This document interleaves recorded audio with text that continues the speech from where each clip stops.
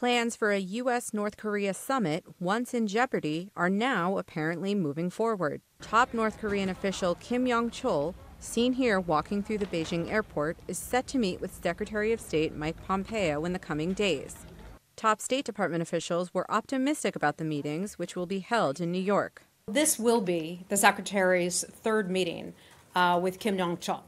Uh, they've had uh, obviously very deep conversations where they've talked about a lot of detail about what the United States expectations are.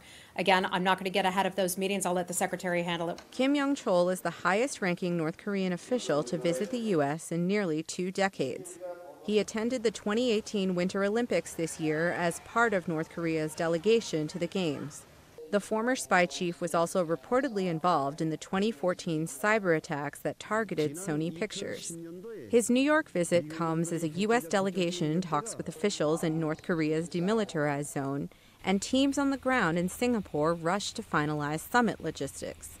President Donald Trump, who abruptly called off the historic summit last week, is now moving forward, tweeting in part, quote, solid response to my letter.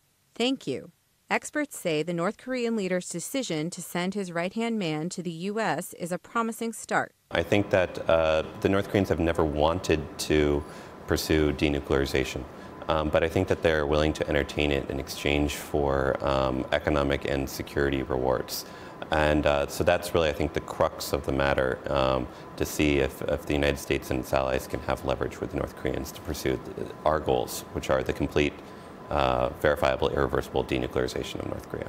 Meantime, the White House confirms President Trump will meet with Japanese Prime Minister Shinzo Abe on June 7th, just five days ahead of the potential peace summit in Singapore, in a meeting that is sure to include North Korea on the agenda. Elizabeth Cherneff, VOA News, Washington.